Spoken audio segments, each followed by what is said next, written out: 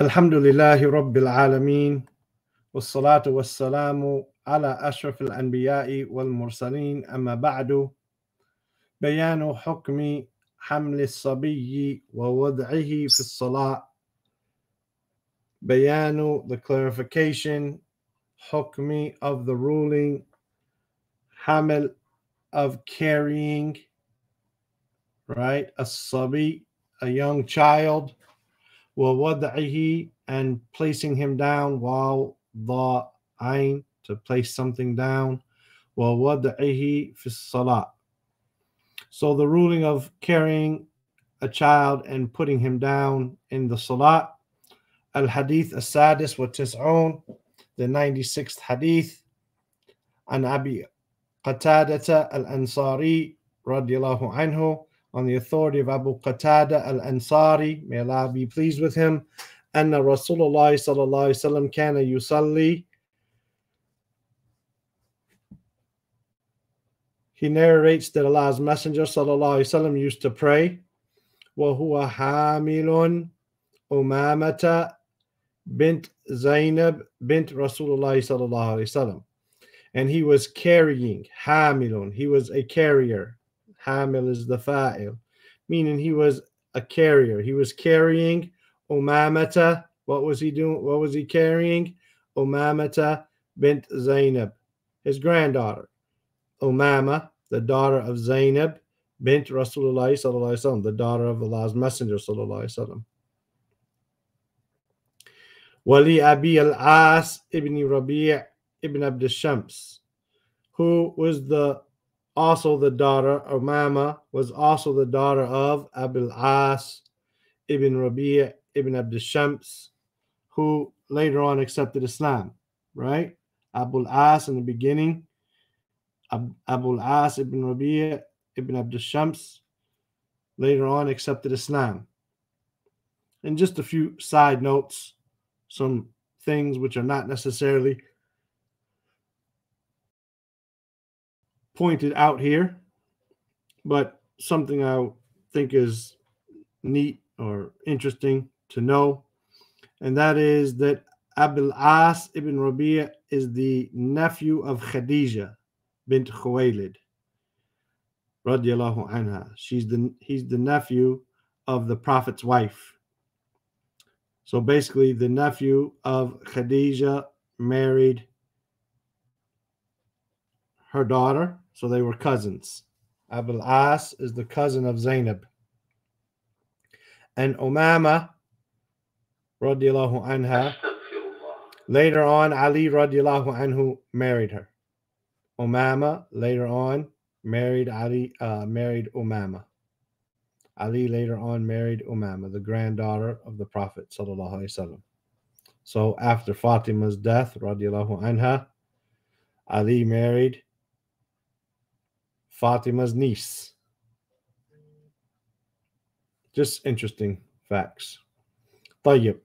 So النبي صلى الرسول الله صلى الله عليه وسلم كان يصلي وهو حامل أمامة بنت زينب bint Rasulullah sallallahu alaihi wasallam Ali Abi al-As ibn Rabi'a ibn Abd Shams.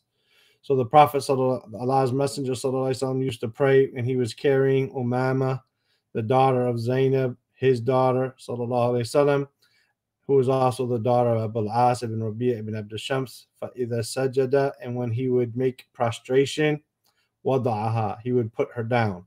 وَإِذَا قَامَ and when he would stand up, حَمَلَهَا he would carry her again right? Doesn't say again, but he would carry her. So you put her up, put, put, put her down, carry her, put her down, pick her up. This hadith is in Bukhari number 516 and Muslim 543. من فوائد وأحكام الحديث should be a singular here. We have one hadith from the virtues or benefits and rulings of the hadith. أولا firstly جواز حمل الصبي ووضعه في الصلاة the permissibility of carrying a child and placing him down in the salat ما لم ما لم تتحقق تتحقق najasatuhu. As long as he there is no najasa, there is no impurity known. For example, uh, a soiled diaper that is going to get wet and the urine and the feces is going to get on you, right? Then it's permissible to carry a young child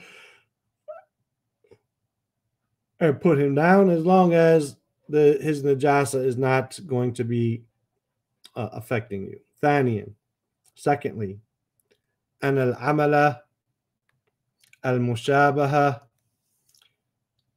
lidalika mushabaha meaning that an action which is similar to that, a similar action lidhalika, an action similar to that, la yubtilu as-salat, does not negate or violate or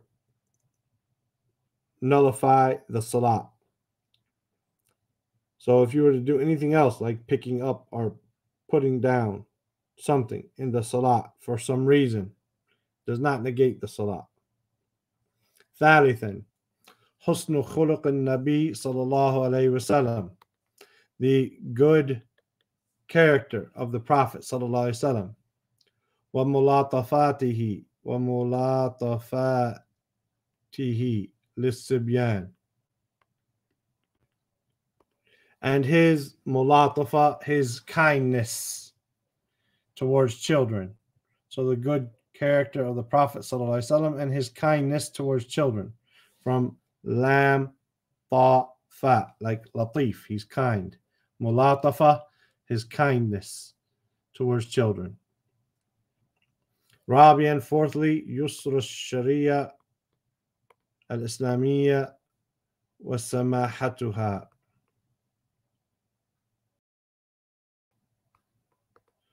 the ease, yusr, the ease of the Islamic legislation was samahatuha, and its samaha, its loftiness, its nobleness, right? Showing all of these great features. So this hadith shows the greatness of Islam and its ease. هذا والله تعالى أعلم وصلى الله وسلم على نبينا محمد وعلى آله وصحبه أجمعين